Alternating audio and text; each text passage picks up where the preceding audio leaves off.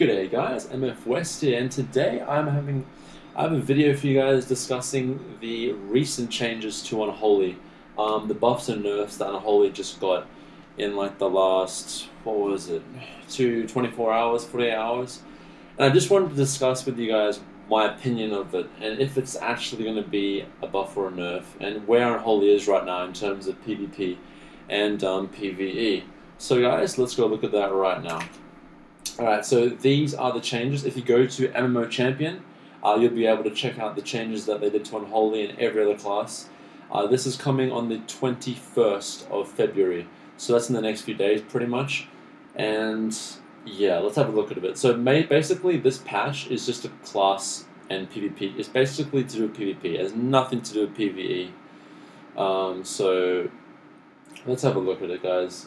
Um, unholy. First off, in on the list, because obviously D.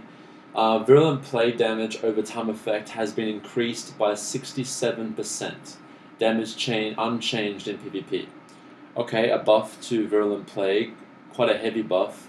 Um, I, I honestly need to see the numbers and what I'm simming at now as I'm comparing to simming later, but Right now, guys, in Nighthold, Unholy isn't doing that well. Um, unfortunately, our counterpart Frost is blitzing it in Nighthold, but these are buffs to Unholy, so we can just hope they can just keep giving us buffs because far out Unholy is not performing well, guys, in um, in PvE.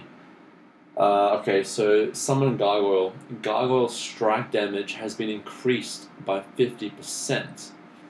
I'm confused about the strike damage. Um, I'm thinking when the Gargoyle hits the target immediately, that damage has been buffed. I mean, I'm not sure how that's working, but like I said, I do need to look at that up on after the patch goes live, and I'll be reporting to you guys. And Dark Arbiter, they're really trying to bring Dark Arbiter to become relevant, but that talent is just so irrelevant, guys.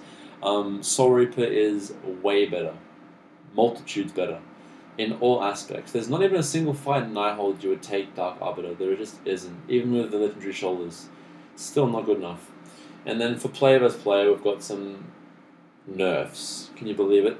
We are getting nerfed in PvP. Unholy Death Knights. The most underrated, well, not underrated, just like underwhelming class right now. I do really think that Unholy has a special place in PvP we are the kings of battlegrounds, and in arena in specific setups, like I've been uh, testing the last few days, we can shine. But this is not going to help. Um, okay, they buffed Dark um, Simulacrum by reducing its cooldown by 5 seconds. I do think in 2s especially, even in 3s, you should be using this ability. It is extremely strong, guys.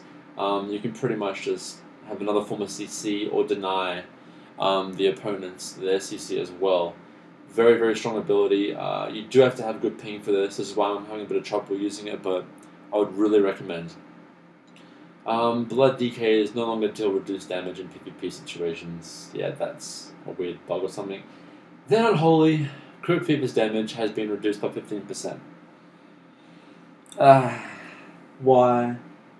Why? I mean, I bet you I don't know, maybe my, my recent video showing how ridiculous Crypt Fever damage is, I don't know, like, why? Unholy Death Knights have their place in BGs. We're really strong in BGs. We have great pressure. We can split our wounds on targets. And Crypt Fever will just tick like fucking nuts. 15% is it going to affect us? Okay, BGs, honestly, will still be strong. Crypt Fever will still be one of our, our top damage dealers. In Arena, though, that's really going to hurt. Um, yeah, I'm, I'm really pissed off about that, guys. But we did receive buffs in, in PVE, so maybe it can round up, but right now I'm not thinking so. And then you get like all the other classes, Fire Mage got nerfed. Hunters, they're doing some weird ass shit to them, like adjusting their templates. And same with Warlocks, and that's about it, guys.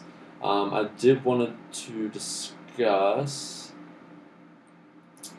um, the recent changes coming up in 7.2 to players versus heroes. So as you guys know, World PvP is absolutely messed up. World PvP is stupid. So uh, Hayes made a video recently talking about how this might change World PvP, and I agree. It might actually make dueling legitimate, so you don't die in like one apocalypse or a shambling horror or a glacial spike. something ridiculous like that. But yeah, this this is going to make Arena very bursty. So now they're reducing the damage people are dealing to other players, but not touching healing. Healers will be able to deal with like the kind of rotting builds. Um, Walking Dead will probably become Unholy Death Knight's best comp because of how well we can lock down and burst targets. But yeah, that's that is quite interesting. And yeah, I mean, we're gonna have to see. Seven point two is quite a long way away, so let's just see. And the last thing I want to talk about, guys, was the tier sets for Death Knights. Now, um, I just wanted to go find the Death Knight one. Have you guys actually seen the tier sets for 7.2? Now, I'm not exactly happy with it. Tell me what you guys think, but I'm really not happy with this. They're still fine tuning it, but the problem is fine tuning is numbers. They've made our tier set bonuses that like this is guaranteed. This is what our tier sets are going to be. Now they're just adjusting numbers. So let's have a look. Unholy tier 20 two piece. Death Coil causes one of your Army of the Dead ghouls to explode, dealing a 150% of attack power damage up to zero nearby enemies. What the fuck is that? That is the most useless two set I have seen them make for Death Knights. Why we want to destroy our army in the first place? They, uh, they give us buffs, they give us, they do deal damage, so when we use our Apocalypse, or the opening rotation would be like, um, okay, so you summon your army at the dead of the start of the boss fight, your Apocalypse, and then after the Apocalypse, when all your ghouls are up, you're gonna be like, this is gonna force you to spam Death Coil and then, and then explode all of them. Okay, it's gonna be a shitload of a um, burst DPS, like burst damage. But will that make up for the consistent damage that they um, give us with debuffs and stuff? I don't know, guys. It's a very underwhelming two piece. Four piece, each rune you spend reduces the cooldown of Army of the Dead by three seconds. That's interesting. Now, as you guys noticed, there's no more RNG in our tier sets. High five finally, they've realized that we don't need more RNG in our tier sets. But Army of the Dead is something you need to build up. It's we use it at the start of the fight because it's the easiest time to use it in a fight. Um, you don't need to actually pull your runes, pull your runic power, so you have enough runes. So you're gonna have to be watching your your cooldowns and time it in a phase where you can actually use Army of the Dead. All your runes go on cooldown, and then have enough runic power to bring them back off cooldown. But Army of the Dead is a pretty big uh, increase in damage, and that will mesh with the two set again by using your Death Coils. So there you have it, guys. That is the roundup for the last three, four days of information on the Holy Death Knights. Um, I hope you guys enjoyed this video.